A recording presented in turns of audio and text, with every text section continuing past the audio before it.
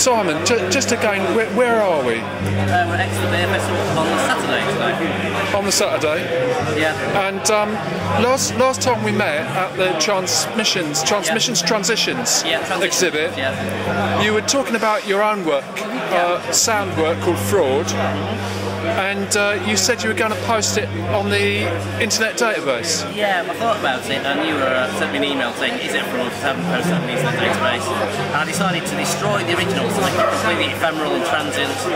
So uh, the original work no longer exists in its original form. So, my thought about that is that there, there must be people on the internet who can't get to Exeter, didn't know about the exhibit, and they've lost it really. They won't have the chance to experience that.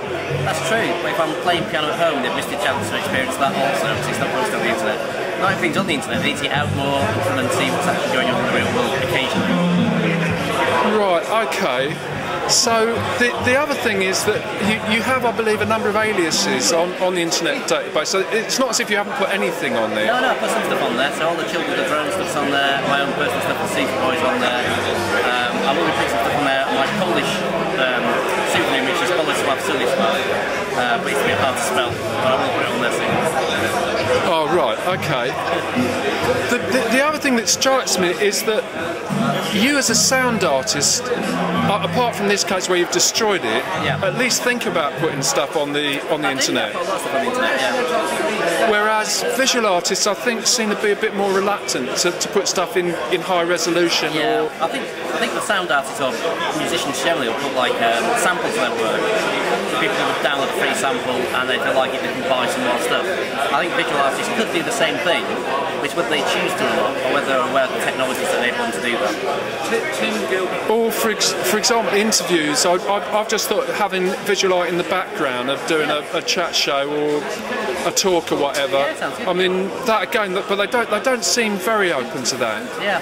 Not in not in the way that musicians would think about it. By the way, if you're like um, a musician, your music's been used to like theme tunes, like a chat show or something, that's good. Because every week there'll be a credit at the end giving you music by whoever.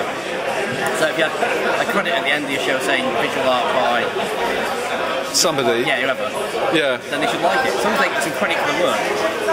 Right. Okay.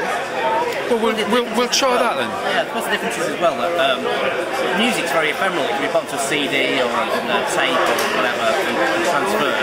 Whereas uh, visual art is a physical thing that actually needs to be moved physically from one place to another. If you're going to hang some art in the background while you're filming people, Yeah. it means someone has to bring it to us to take it back.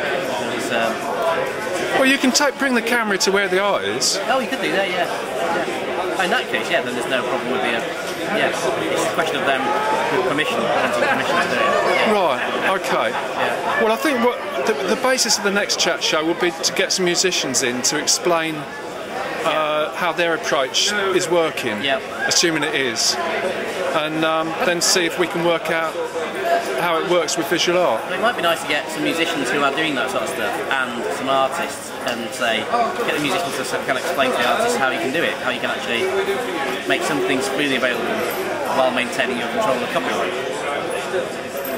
Right.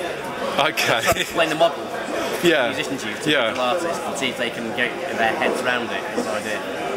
Yeah. Okay. Well, Simon, we'll, we'll ask you about that ne- next time. Next time Yeah. we speak. Hopefully not later today when I'll be very drunk again. No. Well, we've, we've caught you in the morning. yeah, just, uh, well, it's technically the afternoon, but it's still early. Well, yes. Okay. And um, the, how, how are you enjoying the the, uh, the beer festival? Very much. Uh, yesterday I drank lots of different perries and uh, ciders and ales. Uh, me and a friend Adam were buying random unknown half, two halves of random unknown ale uh, for each other and not knowing which one was which. And going, well, this one was nice. What was it? And we don't know. we literally been quite randomly. It's quite good fun.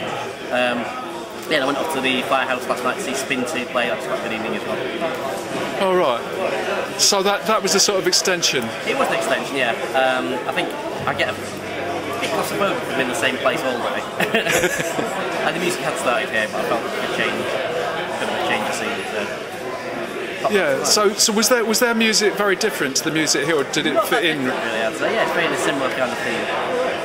Yeah. And in the daytime yesterday, most of the, bar staff from the firehouse were here. Oh right, right. like everyone who likes beer was here. So the staff from the Angel were here, the staff from the firehouse were here. It's quite the place to be if you want to try out new beers. Right. So you, you think you think this event is going to stimulate some interest in lo- in local beers? It is definitely, yeah. Yeah. I know the, the Angel at doesn't particularly, well, they do some Otter, that's not the only other player they do. but I I think, needs to get some more, get some more of that sort of stuff going on. Right. Which is good, really. Especially to like the Angel that attracts the young drinkers. If you can get young people interested in something that is priced like this is lager, that's going to be a good thing.